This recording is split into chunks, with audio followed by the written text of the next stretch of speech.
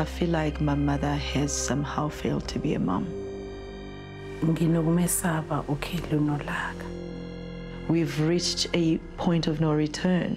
ihlala kanjani kuye lokho as umntanakhe walking through the door and i'm hurt ngibahlanganisephi ngihambe nami ngemaphepheni You are not only after me, you are also after my career, everything that I've mm. built. Her plan was to destroy me. Yazi isiZulu sithini ma? Umenzi uyakhohlwa, kodwa umenziwa akakhohlwa.